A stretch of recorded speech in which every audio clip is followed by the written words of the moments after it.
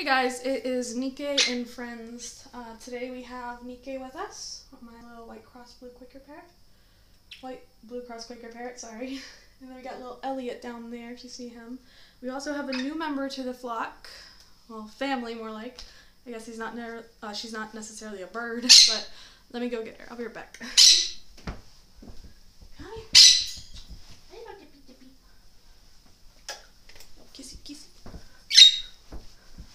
All right. This is Miss Tipsy. Uh, she was a stray. We uh, rescued her from uh, a dog rescue um, here where we live, and she's such she's such a good dog. She's she's like hugging me right now. I love her. She's such a good dog. But today, um, it's not. This video is not about Tipsy in her introduction. I will get into that eventually, but but um you go. Be free, Tipsy Tipsy. It's um it's about something I haven't I, I I failed to tell you guys about on this platform. Um it's about Kai. So Mr. Kai, uh, you won't be seeing him in the videos anymore because he's he's no longer with us. He's he passed away back in July 2021. Um, and I was just kind of want to make this video to like commemorate him and also tell what happened. And maybe you guys can learn from our mistakes, you know? Okay. So, uh, what happened was I could tell that something was wrong with Kai for a little while, right? There were there were just like small hints here and there, and I kind of put them off because I was like, no, I must be seeing them wrong, right? And honestly, that's not something you should do with a bird because. Did you get away from the cord? Okay. Um, it's not something you should do with a bird because they don't show signs of illness when they first get sick. It, it they only show signs of war- illness when it gets way worse because as prey animals, they don't want to seem weak so they don't get picked off or kicked out of the flock, you know? Um, so birds tend to tend to not show illness or anything like that. That's the point. Um, so if you do see anything weird with your bird, that should be like the first sign that like, not the first sign, but it should be like a big warning that um, you should go seek help. I would recommend going to a vet definitely, an avian vet I have a couple of where I'm at now. Didn't really have them back in North Carolina, but we weren't back in North Carolina when this happened. Um, so let, let's just break it down.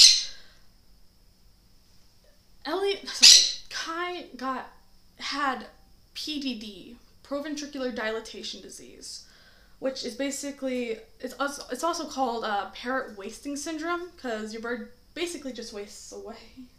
It's it's a it's not a good way to die, honestly. They starve basically because they cannot digest their food anymore, not properly.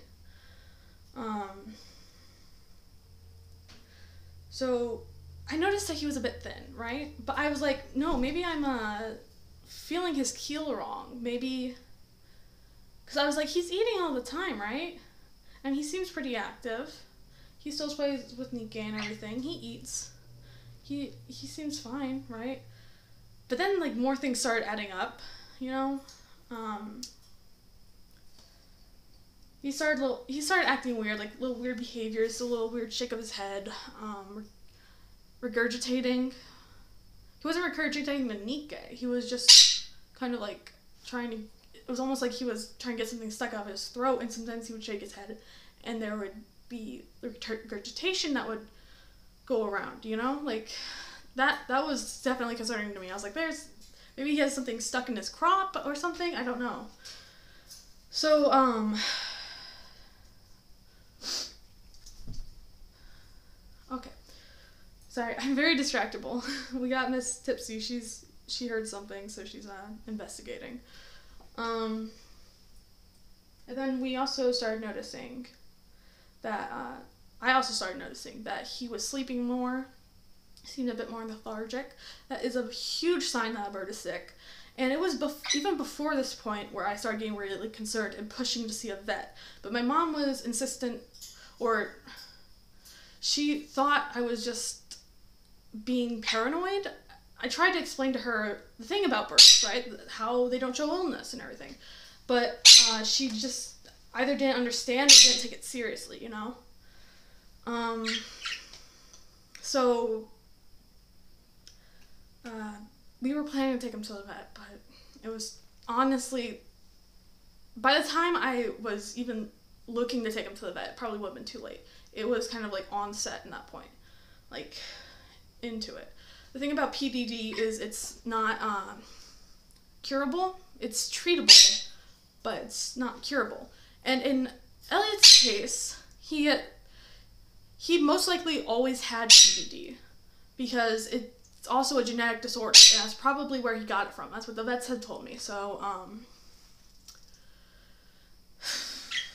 so he's had this. And for some birds, most there are a lot of birds out there that have what it takes to develop PDD. I think it has something to do with avian bornavirus um, and how it activates or something, the disease. And sometimes it can be just a mild illness, and sometimes it can kill your bird, you know? Um, and sometimes it never shows up, you know? Um,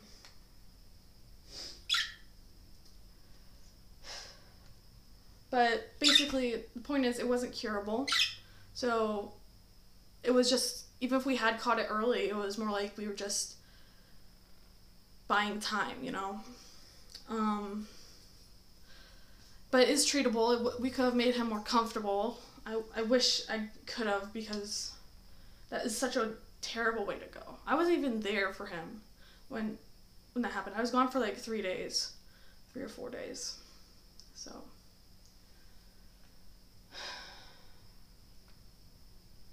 Thank you, Nike. Anyways, um, she's she's uh, she's holding my hand right now. Thank you. All right. Anyways, um.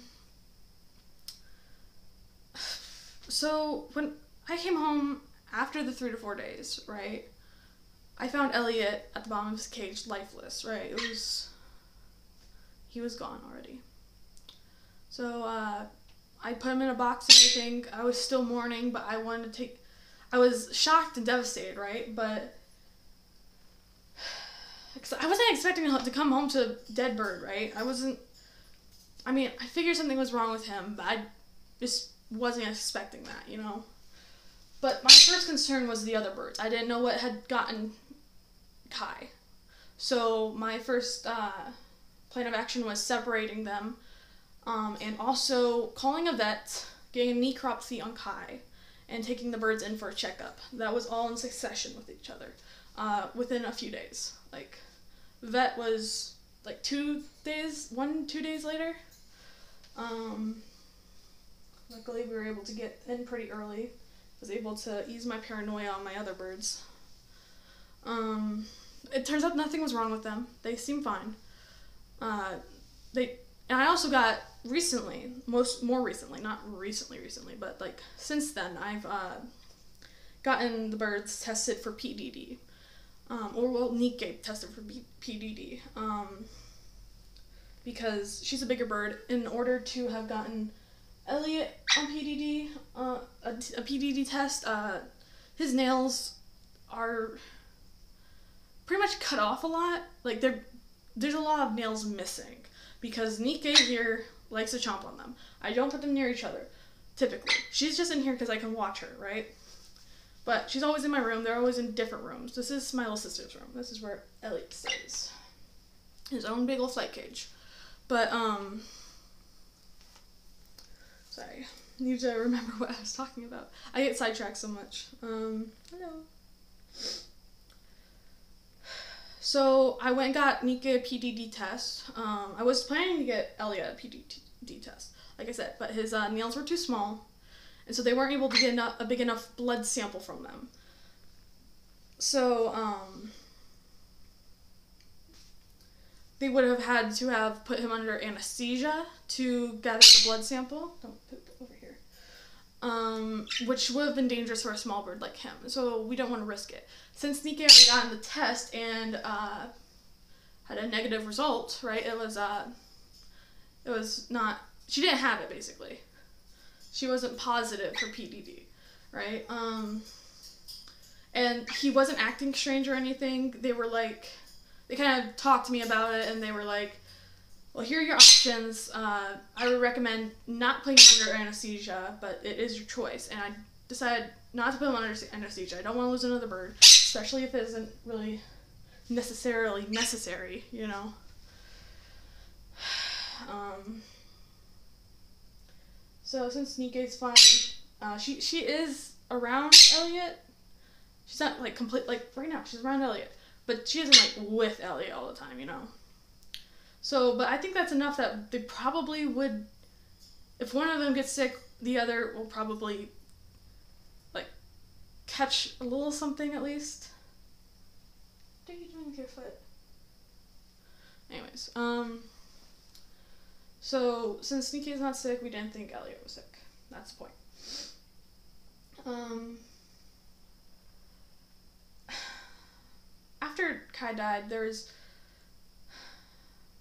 there's a lot. Of, there was a lot of sad news. He had uh, basically no muscle mass on his uh, keel or anywhere really.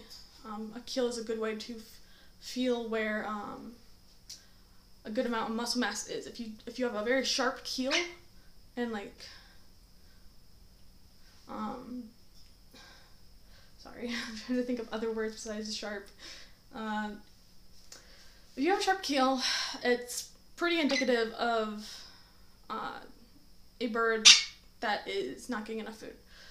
Um, I know I had known that Kai had kind of had a sharp keel, right? I was actually checking on Elliot uh, for a few days, right? For a few days because I wanted to make sure he was okay after Nike got another one of his toes, right? And one of the things I would do is feel his keel, right? And he always seemed like a small bird. He always seemed smaller than Kai, just slightly, you know. So um, I was like, well, I don't know what a sharp keel should really be like. I, I, I know in theory, but like I don't have, I don't necessarily have anything to compare it to right now.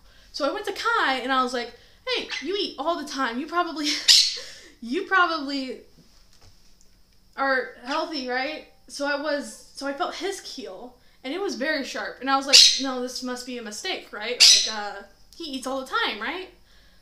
And he, at that time, he wasn't necessarily really acting weird, right? So I just kind of put it off. Um, just kind of moved on and stuff. So I had known he was technically I had known that he was underweight. Um, that's one of the symptoms of PDD. Uh, we, he was also lethargic later on. Uh, his, his, the last few days that he was uh, with us, he started getting really lethargic. Um, he was also doing the weird regurgitating thing with his head and everything. Um, he ate a lot. Like when I got feeds out, he was ravenous almost. He was very insistent on getting in the bag. like there's small bags. Let me show you. Like when I do treats, you got small bags like this, right? And he would stuff himself all the way down there, right? I mean, he is a small bird and stuff, but I mean, that's probably not something a bird will feel comfortable doing, you know, because it's like surrounding them, you know. It's kind of weird, you know. So, um, I thought that was a bit odd when I saw him doing that. It was around that time it was around definitely around that time where I was like that right I have some screenshots of what I've said to my mom and how she was like it's probably nothing, right? Um there's some I wish I could have I had done things differently. You're you know, there are things I could have done to see the signs. I could have been more proactive in uh, his health and like really trying to check out everything. Like that like i said his keel was an early sign sort of. Like it was one of the first signs i really started noticing. Um so i was I should have definitely at that point gone to a vet and checked things out. But uh,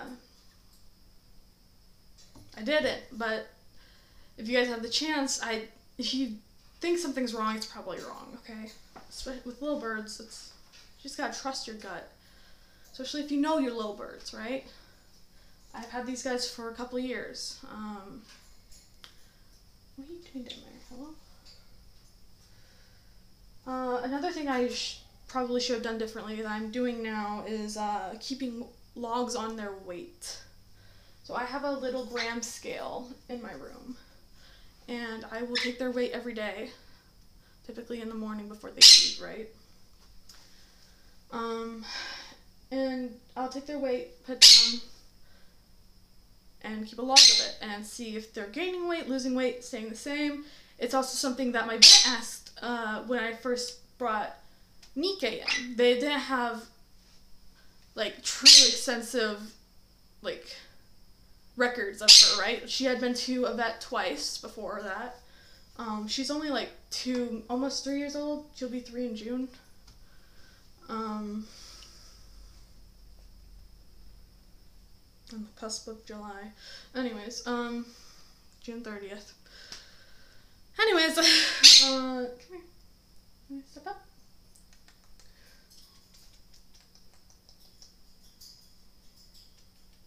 Alright, thank you, Nike. Anyways, um, I definitely recommend keeping a uh, log of their weight. And I have been told of that's that's a rec- thing that has I've heard has been recommended by tons of people before, right? But I never thought that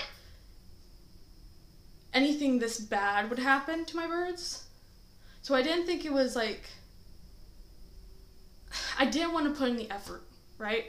I thought it wasn't worth it necessarily. I didn't think not even that it was worth the money, like worth the time, but it would have shown Kai's illness so early on. We could have gotten him treatment. He, we, it's not curable, like I said, but we could have made him comfortable until he passed. We could have had a few extra months with him. We could have, or even years, I've heard. But he just suffered and starved and wasted away without me even truly knowing, you know?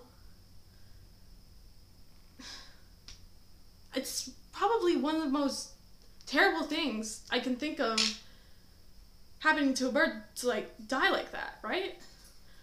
You have a, you have a couple of other very worrying disease like PBFD, right? Proventric no sorry um not proventricular dilatation disease that's PDD. Um, beak and feather disease that's another incurable thing. Um, from, from what I've last heard, maybe they've done more research on it. Hopefully, it's will be curable one day, right? There are lots of things that are very concerning. Stop biting me, it's not nice. Here. Alright, she's a little, she she's a little naughty sometimes, you know? Anyways, so if I could recommend anything, if I could learn anything from this lesson, if you guys could take away anything from this lesson, is to trust your gut when it comes to your birds and get a gram scale, take their weight. You might not maybe you don't even take it every day, right? Maybe every couple days or every other couple days, right? I, it would have shown something, right? So if you if you don't think it's worth the effort or the time, I, I think it is. It'll save you a lot of heartache. It will save your bird a lot of pain. I, there's so many regrets I have. I'm being very sad right now. Um, you go for Mr. Kai. Um, I just hope you guys can don't have to go through the same thing as me and are able to prevent something if something is wrong, right? You're able to catch it early, you know. We have um Kai's ashes with us now. He's still here. I have his feathers. I have a whole urn for him. um, in a little velvet case. I even have like a little petal thing for, uh, or like a seed petal, like in shape of a paw print because of the vet. They sent us his ashes, and technically I could plant that thing and that little plant, and it would grow into something if I took care of it. I'm just not good at gardening. Um, but this isn't a house we're staying in for very long, so uh, I wouldn't plant it here. I think anyways, I think that's uh, kind of all I have to say. I I do want to mention that it wasn't like I just learned about PDD. By the way, I had known even before I got birds. I just didn't think it would happen to my birds. Right? What are you doing? Right? Um. I had. I just.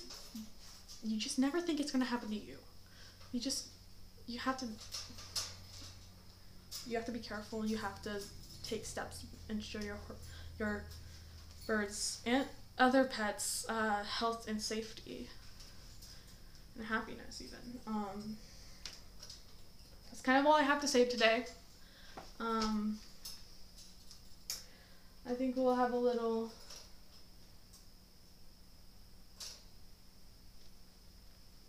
Sorry, can't Elliot. Um, I think we'll uh, have a little outro. Do? Did you see this? Are you good? It's not even she's trying to be aggressive. She just thinks it's a toy. She's like, oh, that's really nice and chewy, you know? Oh, that's her clack. She doesn't like that. Anyways, I think this video's gone on for long enough. I'm going to see if I can edit it uh, down a bit, but I'm not good at editing, so, um might have to deal with it as is, guys. I'm sorry.